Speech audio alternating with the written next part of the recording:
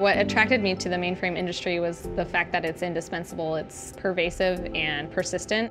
Coming out of college, I didn't really have any idea what a job developing for the mainframe would be like. It really blew me away seeing how important the stuff I worked on was. For someone coming into the mainframe industry, I'd probably tell them to keep an open mind and not be afraid of a challenge. It's a mistake for companies to kind of just give up and say, ah, well, we can't, you know, find anyone who wants to work in this space. People want to feel like what they're working on is important and impactful. So you have to make it more interesting and a place where someone does want to work.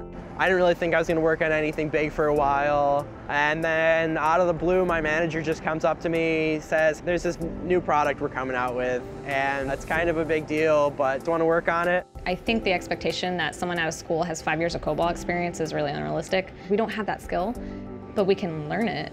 The learning curve on the mainframe can be a little bit steep. I think the important thing is kind of work to mitigate that. We have a good training program, making sure you're setting them up to be successful. I work with very experienced developers. It makes all the projects we work on both very educational and fascinating. I think I have the full ability to learn what I need to learn, especially surrounded by people who are willing to train and mentor. I think millennial developers are just as passionate about the mainframe as the more experienced developers. For IT teams to be really successful, I think the one thing they really need is like a really flat environment. Everybody's thinking about the problems, everybody's solving them.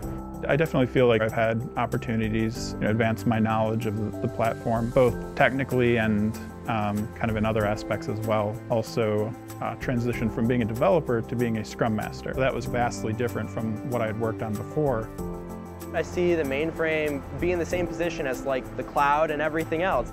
We haven't even thought of all the things that the mainframe can do, and eventually that's going to be our job.